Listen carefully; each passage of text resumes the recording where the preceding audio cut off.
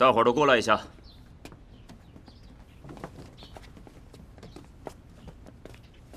想必大伙儿都听到外面的风声了吧？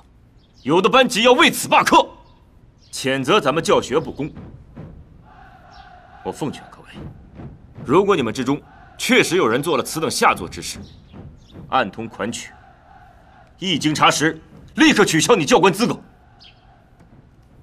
做此事的人也不想想，这样就能让总司令高兴了？如果作弊能拍上总司令的马屁，那我们总司令的人格也太……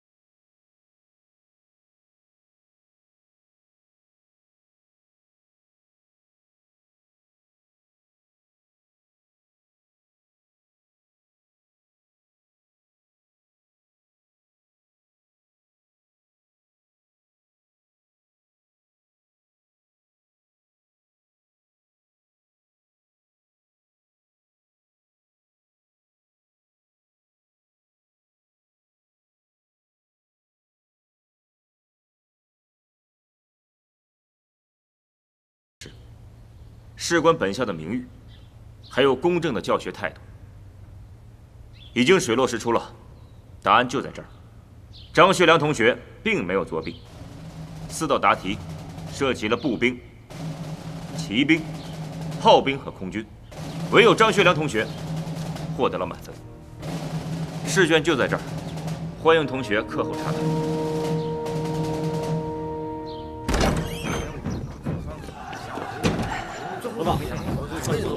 行啊，还还真没作弊。这个我真没抄啊。行啊，我知道，怎么考你都没过。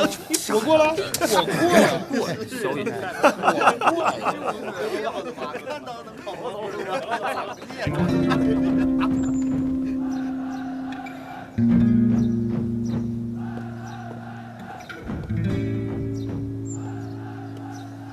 一二。一二一，一二。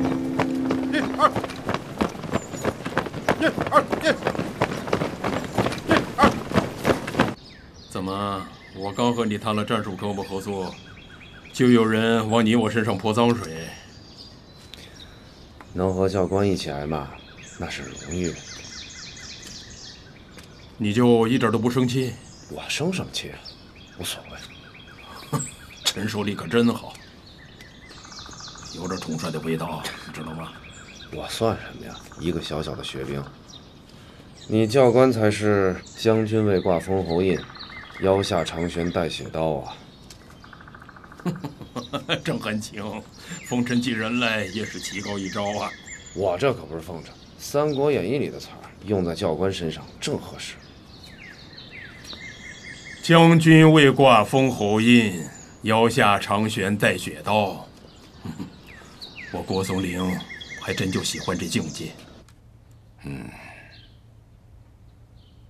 韩庆争气啊！起草命令，晋升张学良同学为卫队旅少校营长，死定要在全校公开颁布。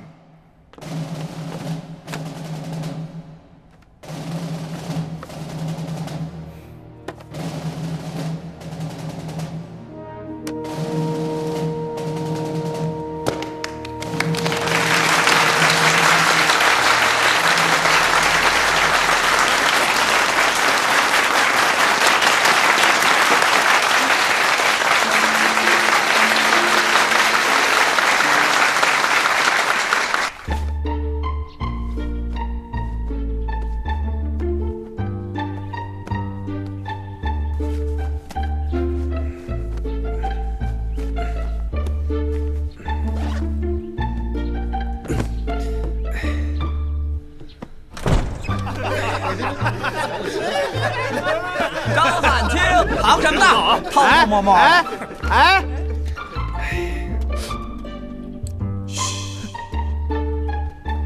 安青，这以后是我管你啊，还是你管我呀？哎，卫队旅少校营长，你管得了吗你？就是啊，老楚，你野心还不小啊啊，谁都想管。哎，不过管不管的，咱五班都比别班神气。那是。哎，汉青，要我看，干脆你给咱当区队长算了。我看以后谁还敢欺负咱？就是又兄弟们，学期未完之前，我张学良就是一个学员。老楚，嗯，咱五班还是你做主。行，韩青，我给你打杂。兄弟们，都听好了，学校下星期要在巨流河一带举行夜间战术科目，都给我好好准备，别到时候窜稀，与本班名誉不利，听明白了没有？明白。注意力，快快快快！进。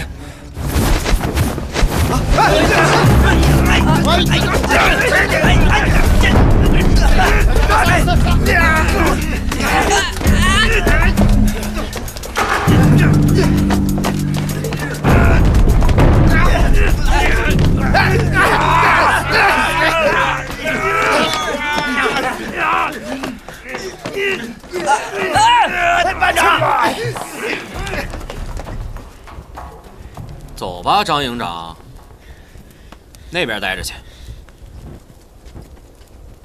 去哪儿啊？嗯，瞧见没？嗯，那儿二区队守着。请你啊，喝汤。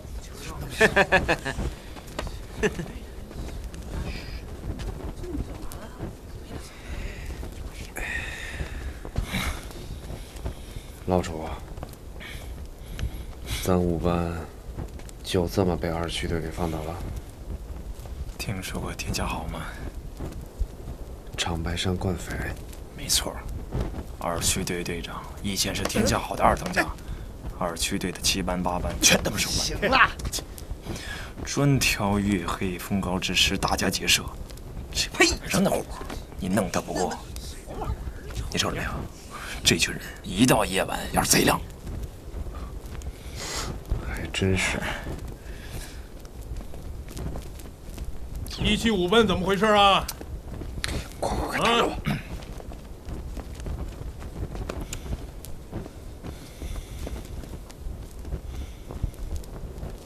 学员张学良，到。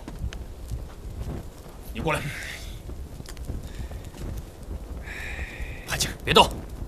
演习还没结束呢，这就放人，账怎么算呀？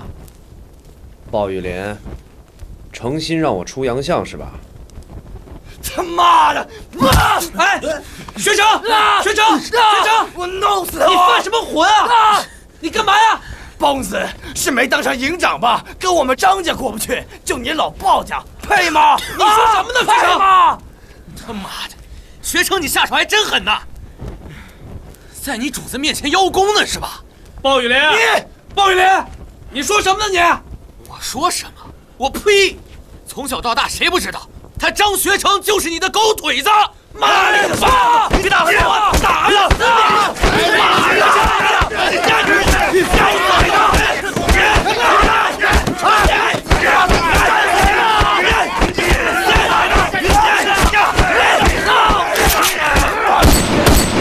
谁敢再动一下，下个子弹就不是往天上打了。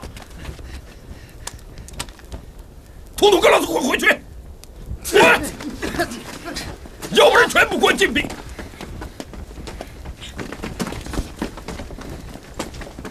退！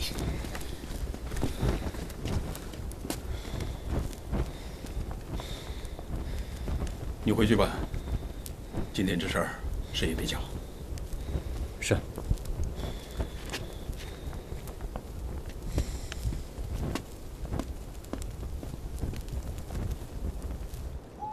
怎么，泄气了？将军不挂封侯印，也不选带血刀啦？教官，你别再嘲笑我了，我现在心里跟吃了苍蝇似的。学成是我二叔的儿子，他爸打仗死了，后来我爸就把他们一家接到我们家来养，把他当亲儿子养。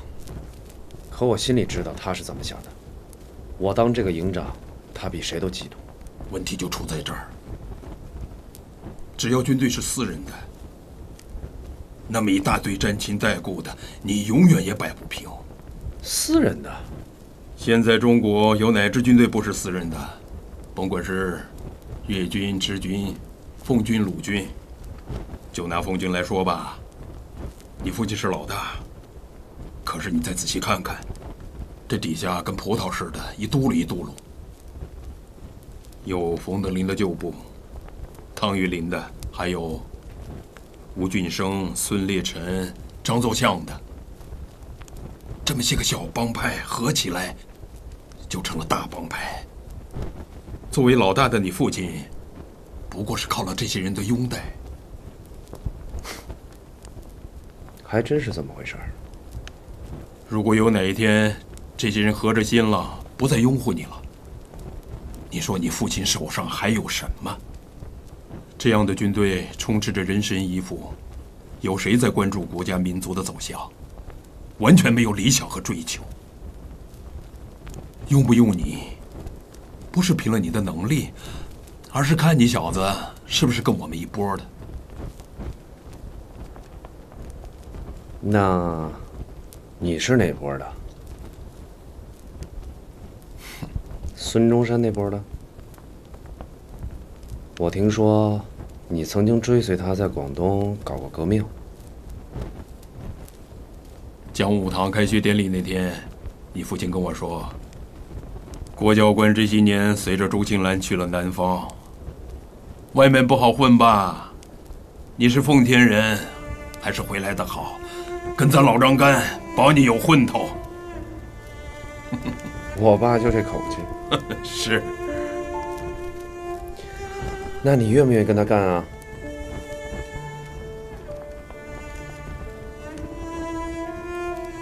你在替你父亲选教。不行吗？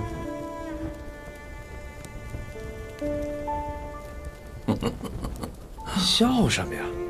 很轻。你以为这是扮家家？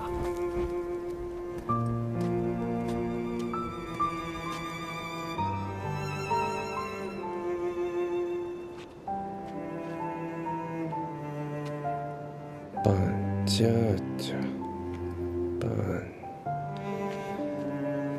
佳佳，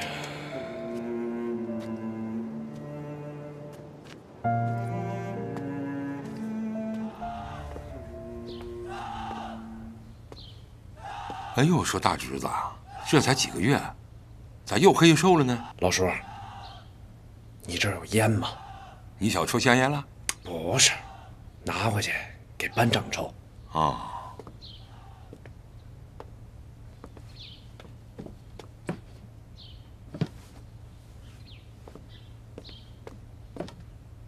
这还真没有。哎，我这一两个月才来一两次，要不叫人给你买两条？嗯，别了。讲武堂总办出去给我买烟去，传出去别人心里怎么想啊？行啊你啊，知道影响了。你爹问我好几次了，问你咋样了？你哪知道我怎么样啊？从我的位置到你的位置，中间隔了十八层台阶呢。我有那么高高在上吗？我。俩月来一回还不高啊？也是也是，哎呀，你老叔也兼职太多了，总参议，呃，警备总司令，二十七师师长，呃，还那卫队旅旅长，讲武堂总办。哎，要不说呢，得多培养人才。嗯，六子，你跟我说说这个学校办的咋样？伙食是真不怎么样。是啊。我说我家庭叔那小脸蜡黄蜡黄的呢，啊，我就感觉这上头真不咋样。哎呀，学校是难一些，又不能抽捐抽水，又吃不了空额，就值那几个钱的伙食费。行，我知道了，我回头啊弄几个钱给你们补贴补贴。一星期能吃顿肉还是能办得到的。哎，那个教学怎么样？教学嘛，有高有低，也难怪。咱们的教官大部分都是日本士官学校毕业的，张嘴闭嘴就是日本陆军如何如何。但是啊，也不都这样。不这样的呢，讲课就生动些、实用些。我心想啊，咱们学日本人那些玩意儿有什么用啊？那是人家的东西，人家拿手。咱们弄这一套弄不过人家，人家也不怕咱们。咱要弄，就弄点让他们害怕的东西。嗯，咋不说了？我觉着你可能不感兴趣。嘿，你个六子，你咋知道我不感兴趣啊？咱们这帮学员大部分都是绿林行伍出身，功夫了得，枪法又准，那单杠大轮环一抡就十几个。他们不差这些基础，差就差在协同联络。这帮人呢也不看教练，人家也不愿意被你教练，人家到这儿来干嘛来了？就是学新战法、新的协同作战。就像我爸说的，他那些老法子已经不灵了，得改改。可咋改呢？哎呀，六子，没想到你真他娘的还挺有慧根呐！啥慧根呢，老叔？像我，玉林。评书，跟他们就正相反，我们差就差在基础，差就差在体力。可是这协同作战，咱们可比那些绿林行伍要多长见识。为啥呢？咱看书多呀。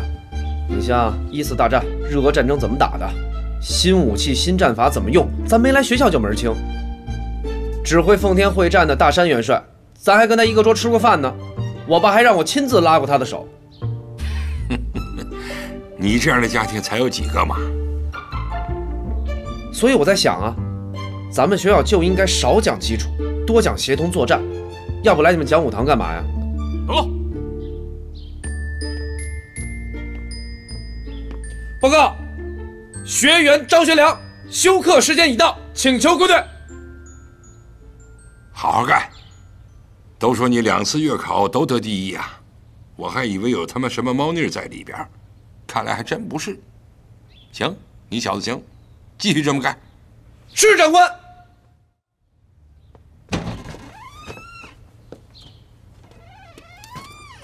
韩青，嗯，你确定你父亲要来我们学校看二百米战术场地？还有夜间科目训练。到底是老江湖啊，一眼就能查到关键。我考察过日俄战场。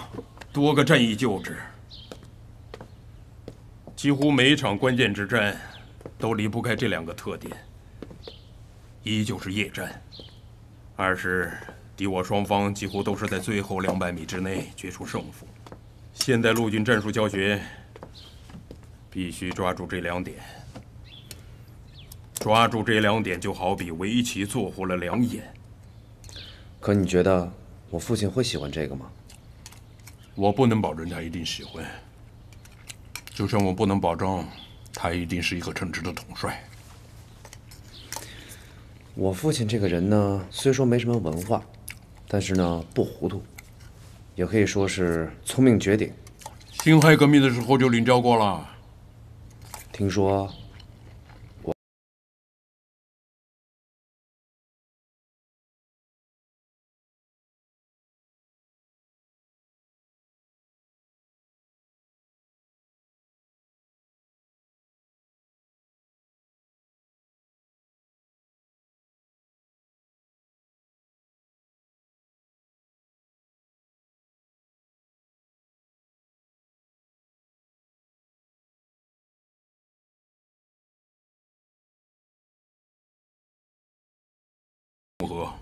随时都在变，怎么有力怎么变。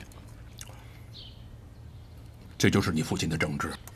可是我父亲这个人呢，怎么说呢？有的时候守旧，有的时候专横，有时刚愎自用，有时出尔反尔。但是呢，他特别爱护他自己的名声。哎，你别笑，这是事实，我真的没有袒护他。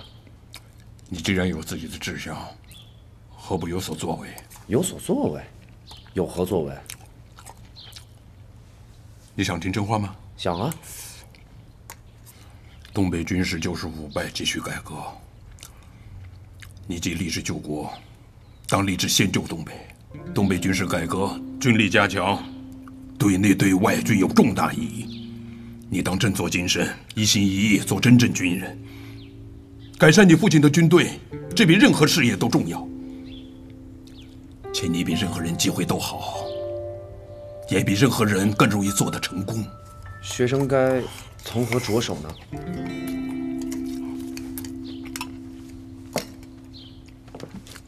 你要做一个木匠，你的第一个计划不会是去造一栋房子，你得先试试做一些小东西，比如桌子、椅子、板凳一类的。桌子、椅子、板凳。你不是说你父亲要来学校验证我们的新式教育方法吗？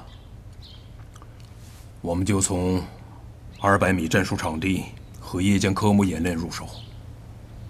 我们也要让他醍醐灌顶，如沐春风。韩青，给个话，揍这个二区的那帮惯匪，你是咱班长，你说了算。行，哥几个，别再出洋相，给我好好搞，都得拼命，听见没有？听见！弟兄们，战！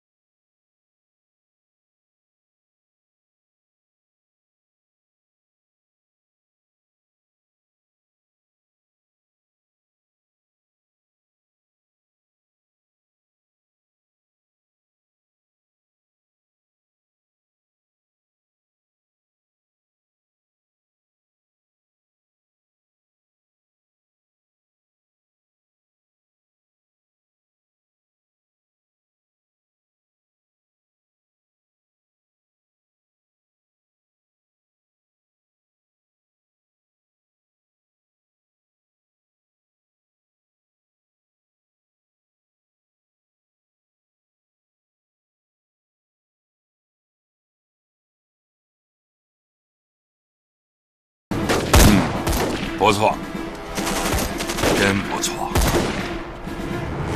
总司令一定满意。如果我所有奉军都有这二百米战术协同，那面貌必然大改。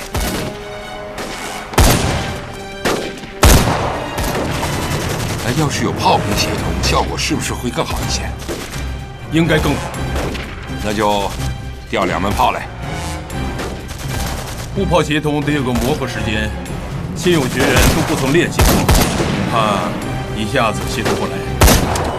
往下走，一下子协同不来，那就两下子、三下子。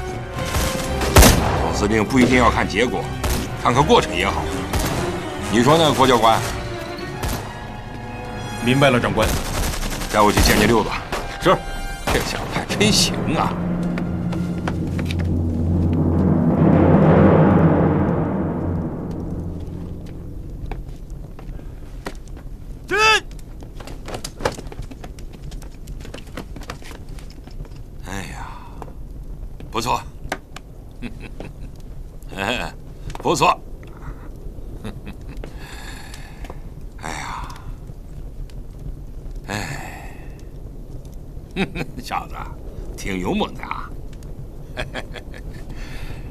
瞧我就认为你是个五脊六兽的病秧子，没想到在这儿生龙活虎来了。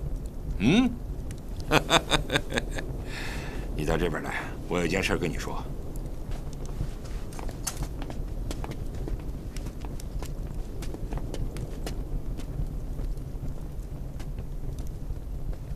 还真的不错呀！不是我当着他们的面夸你，我看你冲在最前头。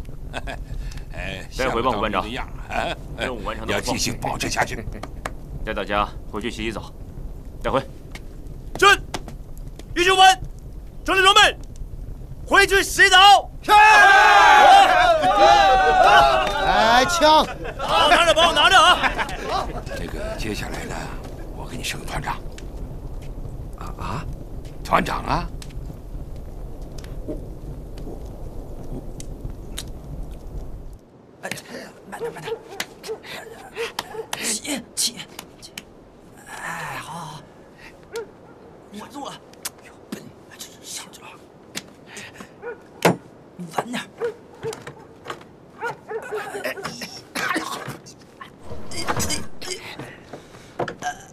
我来扶吧。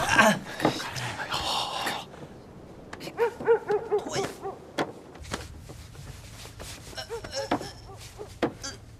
啊。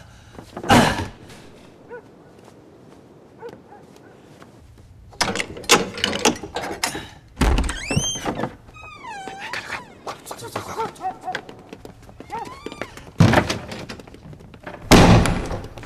呀？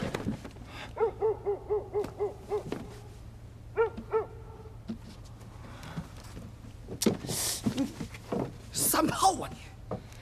哎呀，快点，该干啥干啥，快！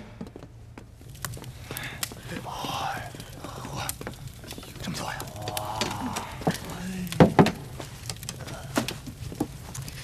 打打打水去！行啊，这毕业了，不得当旅长啊？哎，你还真猜对了。张长官今天打我招呼了，他说我一毕业，他就把卫队旅旅长的位置让给我做。他现在就让我以二团团长的身份参与到卫队旅日常工作上。明天啊，还让我去二团认认门儿。行啊，你你小子，我熬了十二年，才混了个小连长，你这一下子都当旅长了。哎呦，你别笑我了，我现在还蒙着呢。你蒙啥呀？你这叫啥？你这叫横空出世。横啥空出啥世啊？这历史上的名将，大多数都是横空出世的。论资排辈混上去的不多。你说要是按论资排辈来说，能轮得上的韩信、卫青、霍去病，轮不上。你看看你韩青这小脸抽抽的，至于吗你？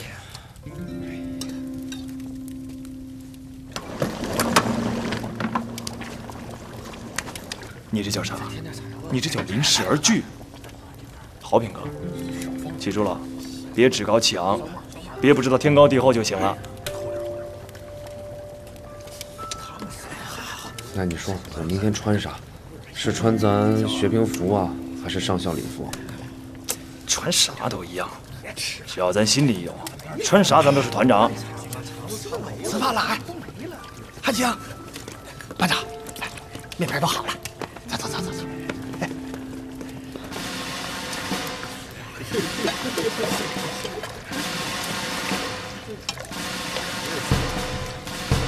立正！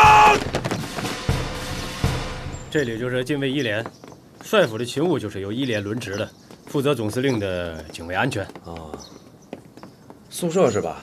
对，进去看看。请团长。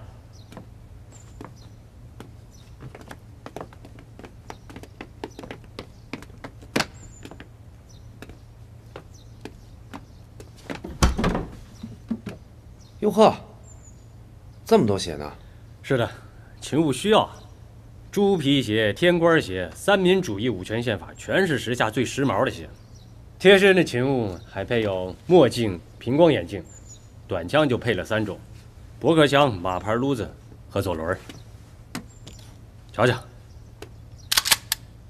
都保养得很好。张营长，我不是来检查你们总司令禁卫的，你们天天在总司令面前晃来晃去的，肯定体面。我是来看你们作战连的。溜达，溜达，溜达，今天就这么着吧，都没准备，等哪天找时间再看。六子，你叫谁呢？赵营长，我告诉你，我现在是你的团长。你要再跟我嘻嘻哈哈的，我就罚你。让你的作战连到操场集合，带上武器。立正！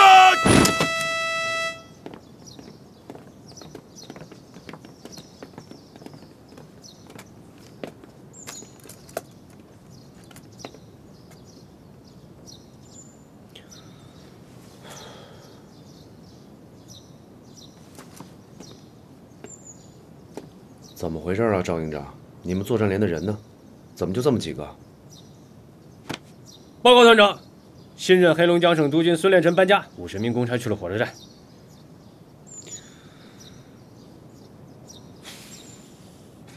就算有五十名公差，那还有一百七十二人，人呢？上街的、私驾的、伙房帮厨的，还有……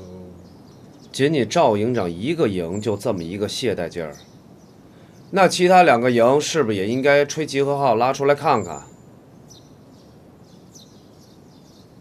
卫队里二团的装备是最好的，人员都是百里挑一的，连你们都是这么一个劲儿，那其他部队能好吗？今天就这样吧，解散。刘张团长。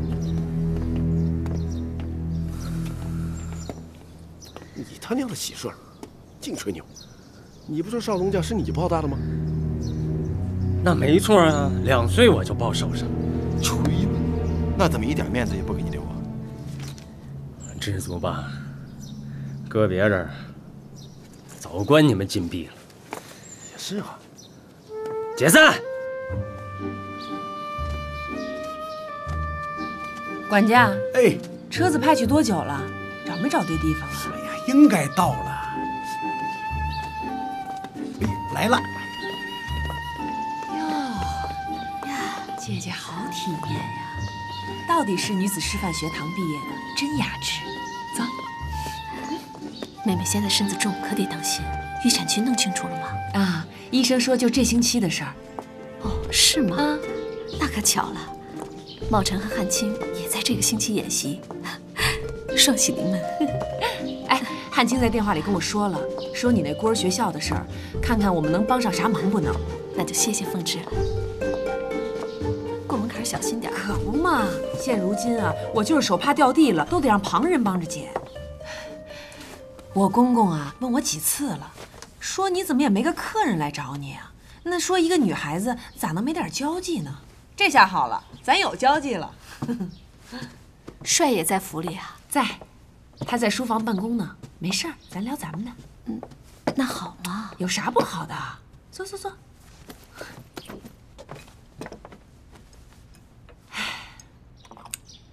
你说呀，自打我于凤至嫁到这帅府，我就算卖给那老张和小张了，替老的管账，替小的管家。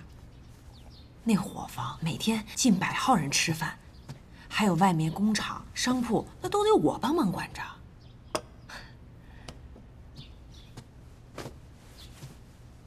我公公放手，钱的事儿我能说的算，你就直说，你那个什么孤儿学校那个经费差了多少，我帮你补上。那，你就先看看这些材料吧。哎呀，我这七八个衙门。转了小半年，都红口白牙的给我踢回来了。你就说多少钱嘛？总共加起来得小三千封闭呢。行，一会儿我带你去账房取钱。可是，哎呦，姐姐，甭说你是汉卿的师母，就凭你自筹资金维持奉天唯一的孤儿学校，那也是功德无量啊。这区区三千元奉票，就让你忙活了半年，已经怠慢了。再说了，我公的钱是私产，用不着那些个什么七拐八弯的手续啊！我先给你取出来，你先顶上用，行吗？太难为你了，凤池。哎呀，你别这么说。那现如今你我男人拴在一根绳上，那你的事儿还不就是我的事儿啊？这会点菜吗？不点，人还没到呢。什么人呢？让你等这么用心。少打听。小二，来壶酒。哎，来了。你呀，是我们小店的老主顾了，每一回来呀都是你做东，就没见别人掏过钱。这要是换了一般人呐，估计早就给吃穷了。我愿意。我知道你是谁。我谁啊？要不然我跟你换楼上雅间。你另收钱不收啊？不收啊才上去。你这样身份的人还在乎这点小钱啊？我什么身份啊？我当然在乎了。哎呀，来来来，我替你换啊！不能收钱啊！绝对不会。汉卿，哎，郭教官，那个正好，老板娘给咱们换楼上去。都说这儿是你张汉卿的第二食堂，你有钱呐？财散人聚。我保驾木堂聚人来了，您楼上请。请。两荤两素我替你定了啊。我去过二团了，奉军的精锐尚且如此，其他的部队肯定更糟糕。你还能指望他们怎么样？至少不能像现在这样，上梁不正下梁歪。关内关外都是些什么人在摆弄权柄？皖系、直系，还有咱们奉系，一伙强人在胡闹。我，今天你和我联手打他，明天他和你打起火来就打我，乱哄哄闹嚷嚷，以防常把我登场。你父亲也不能免俗。听说他正往关里做打算，联手直系对付皖系。这有什么关系吗？怎么没有关系？军队是国家的脊梁骨。一支只有利害、没有理想、没有信念的部队，能成为好军队吗？我很同意教官在课堂上讲的所有的理念。军人的天职就是应该以实际上呢？他们做到了吗？没有。所以汉卿，要想改造自己老子的军队，说说容易。老板娘，哎，麻烦你上菜。好嘞，二位慢用。我就爱这一口。慢用啊。嗯。你说的对，改造自己父亲的军队，实属不易。卫队旅是我父亲的军队，可是现在。这支装备精良的军队，实实在在的掌握在我的手里。所以今天，我是想请教官出山，管理这支军队，需要你的智慧和能力，你得帮我。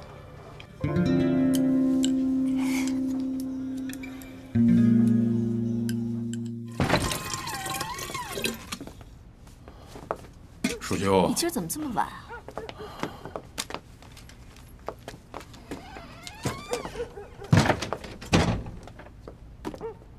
吃饭吧。你吃吧，我吃过了。小张请的客。是吗？嗯。又请客。他要我帮他，替他掌握卫队旅。小小年纪就要做旅长了。是吗？来。给我的条件是旅参谋长。但行使他旅长的一切职权，也就是说，他小张挂旅长之名，我郭松龄行指挥之时，条件他开的。嗯，不愧是老张家的种，干脆着呢。我看你啊，难以拒绝。啊，我一直在暗中观察他。掂量他能否托付，却没想他也在观察我，而且先我下手，要是我郭松龄入他张学良的帐中，你说这事儿闹的。答应他，这机会千载难逢。既然要共事，不妨率真一些。听见我说的了吗？